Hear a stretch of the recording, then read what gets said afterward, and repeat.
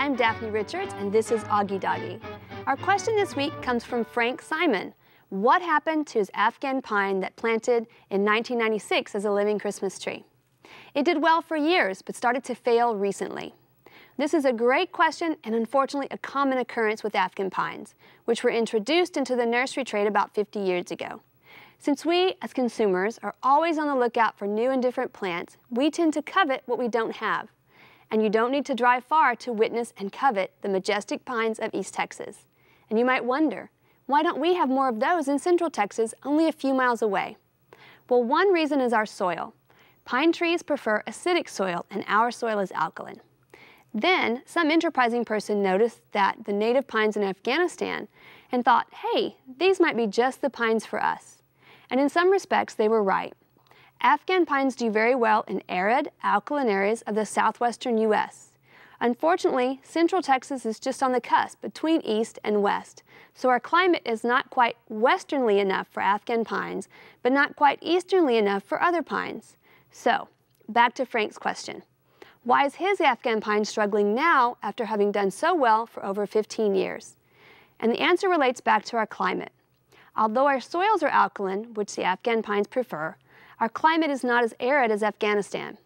Even in a low rainfall year, we still get about twice as much rain as the native area of this pine tree. And our air is also more humid. So these trees will do great until all the small issues that they have with our climate begin to pile up and exacerbate the problem, leading to a steady decline in health and an inability to recover. Our pick of the week is red yucca, Hesperaloe parvifolia. Unlike its common name, red yucca is not really a yucca, and most of them really aren't even red. This plant gets two to three feet tall and about as wide, with a flowering spike that can add an additional two to three feet in height. It flowers from spring through summer, producing one set of blooms that last for quite a long time. Each flower bud will produce a seed pod containing many flat, black seeds. If you want to harvest the seed, Wait until the pods dry completely on the plant, then cut off the entire stalk and break the pods open to collect the seeds. Red yucca prefers full sun, but can take part shade. It's very drought tough, surviving on rainfall alone, even in the harshest of times. Since it survives so well on so little water, you might think it would struggle with heavy soils and overwatering, like other desert species. But it really doesn't. I've seen it be just as happy in clay soils as in sandy ones. Red yucca is used to good effect as an accent plant among areas of decomposed granite and rock mulch.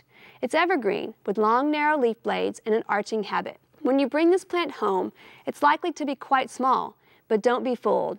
Give these plants at least two feet on each side to spread out. And be careful if planting near Bermuda or other grass lawns. If grass or other weeds get up under this plant amongst those narrow leaves, it will be impossible to pull it out without completely digging the plant up and working from the root area, which would not be good for the red yucca. Hummingbirds do love the towering flower stalks, which range from salmon, the most common, to yellow to red.